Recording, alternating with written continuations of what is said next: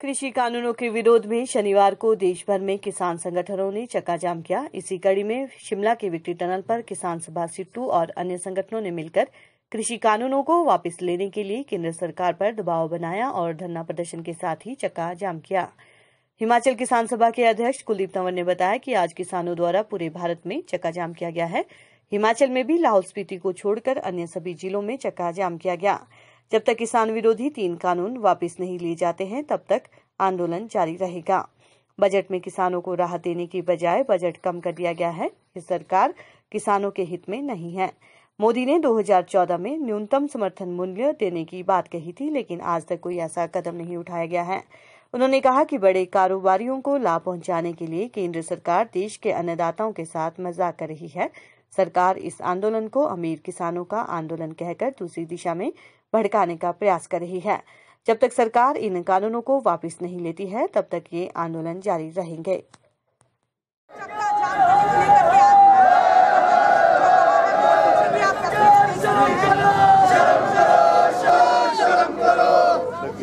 किसान एकता जिंदाबाद।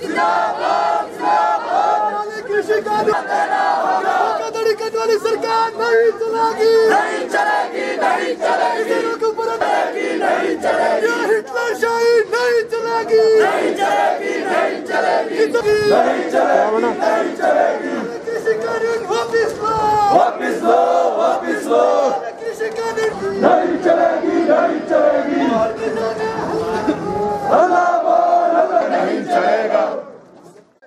केंद्रीय सरकार ने जो तीन काले कानून जो पास किए हैं और उसके अलावा जो उनके किसानों की हमारी एक मुख्य मांग है कि न्यूनतम समर्थन मूल्य को लीगलाइज किया जाए।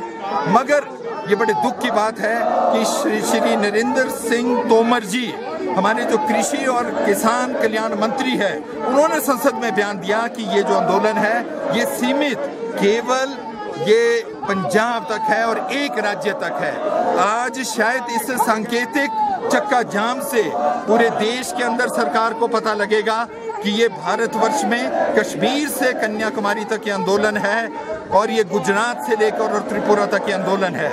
आज हिमाचल प्रदेश में लाहौल स्पीति, जहाँ पर बहुत हिमपात हुआ है, वहाँ पर वैसे ही चक्का जाम है। बाकी हर जिला के अंदर 20 जगह से ज़्यादा ये चक्का जाम किया गया है। जो हमारे राष्ट्रीय मुद्दे हैं, वो तो बहुत महत्वपूर्ण है। उसके लिए हिमाचल का किसान और किसान सभा संघर्षरत है। मगर हिमाचल में हमारे जो अपनी भी समस्याएँ हैं, यहाँ पर ज़्यादा जो किसान है, वो सब्ज़ी है, फल है और जो दूध है, शहद है ऊन उसका उत्पादन करती है। उसके लिए भी जो अब आने वाले समय में पूरे हिमाचल प्रदेश में ये किसान आंदोलन को बिल्टअप किया जाएगा कि जो हमारी सब्ज़ियाँ हैं, फल है, उस पर आधारित उद्योग लगाए जाएँ। उनके लिए पर्याप्त मात्रा में सी स्टोरेज की फैसिलिटीज़ की जाए और जो हमारा सरप्लस मार्केटेबल है, उसके लिए न्यूनतम समर्थन मूल्य दिया जाए।